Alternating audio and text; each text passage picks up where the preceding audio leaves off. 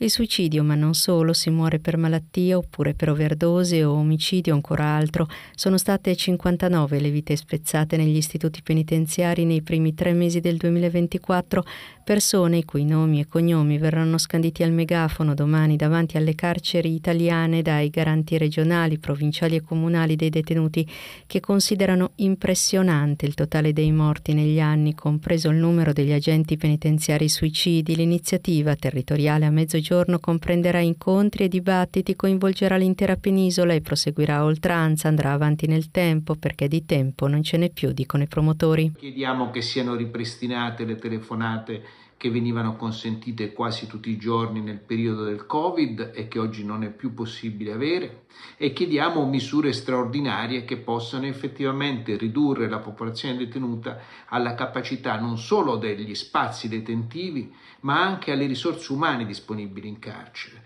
e quindi alle risorse degli operatori di polizia, degli operatori educatori, di tutti coloro che lavorano in carcere e che non possono reggere l'urto di una presenza che supera i 60.000 detenuti. Una cella può essere condivisa anche da 10 detenuti e la maggioranza vi esce solo per le ore d'aria, il sovraffollamento, inoltre un quarto degli istituti penitenziari raggiunge il 150%, un dramma con l'arrivo del caldo estivo destinato solo a peggiorare.